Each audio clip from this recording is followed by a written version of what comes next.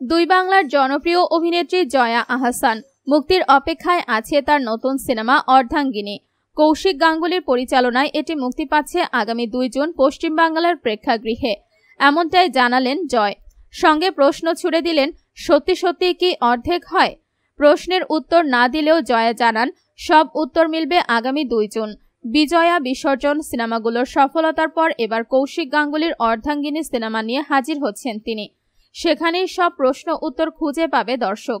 অর্ধাঙ্গিনীতে জয়ার পাশাপাশি রয়েছেন চূর্ণি গাঙ্গুলি, অম্বরীশ ভট্টাচার্য, পূরবশীল আচার্য সহ অনেকে।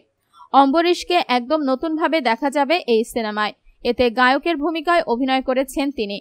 মূলত দুই নারীর জীবনের গল্প নিয়ে অর্ধাঙ্গিনীর চিত্রনাট্য। নানা ঘটনাচক্রে বদলে যাওয়া পরিস্থিতিতে কীভাবে এক সুতায় বাধা পড়ে দুই নারীর জীবন, তাই তুলে ধরা হবে সিনেমার গল্পে। ভিডিওটি এ পর্যন্তই।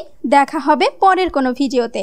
সে পর্যন্ত ভালো থাকুন, সুস্থ থাকুন, আর আমাদের চ্যানেলটি সাবস্ক্রাইব করে বেল আইকনে ক্লিক করে দিন, যাতে পরবর্তী ভিডিও ছাড়ার সাথে সাথে সবার আগে নোটিফিকেশন পেয়ে যান।